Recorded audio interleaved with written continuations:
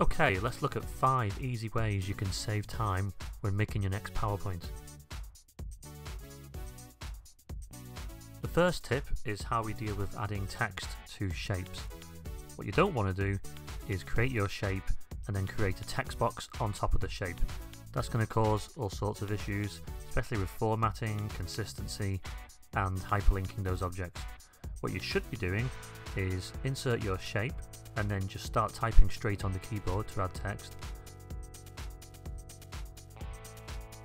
Or you can create a shape, right click and choose edit text from the menu.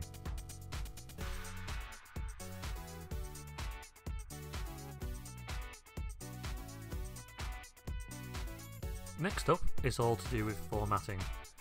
We've all been there, we've had a series of shapes on the screen and we've got them all how we like them, then we suddenly change our mind on the formatting and rather than deleting and having to recopy and paste, we work on those individual shapes and we try to make them look identical. There's a much easier way to do this, and that's using the Format Painter tool.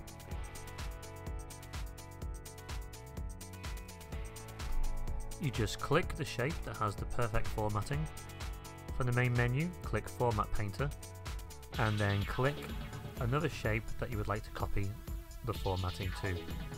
If you've got more than one shape, you should double click on the Format Painter tool.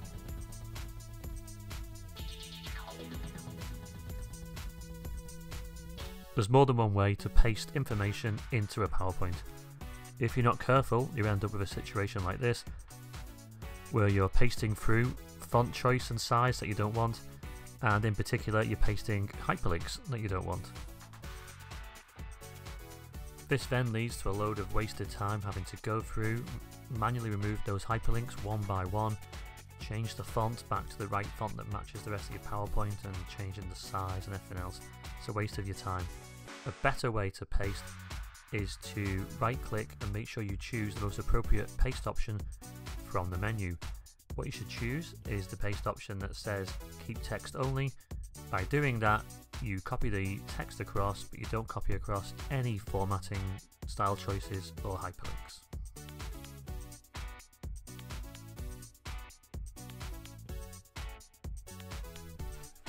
Our next way to save time on your next PowerPoint is to do with how you align and distribute shapes with the uh, guidelines that come up now, it is easier than ever to arrange your shapes to make sure they're perfectly laid out, but sometimes when you've got a lot of shapes, there is a much quicker way.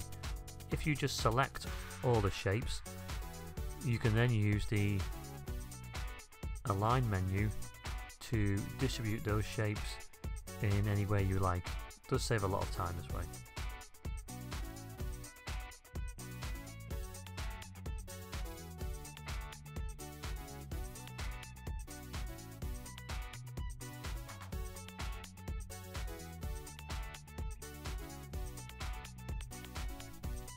And the last tip for this video is all about the layout of your content on slides.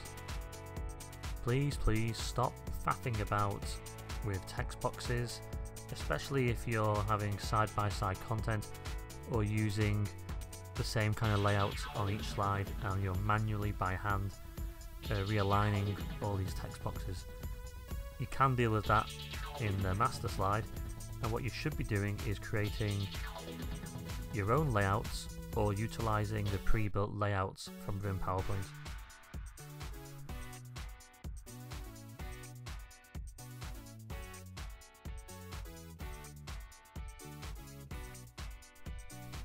So on the Home tab we have the Layout menu and from there you can see some commonly used slide layouts as well as any other ones you may have created using the master slide.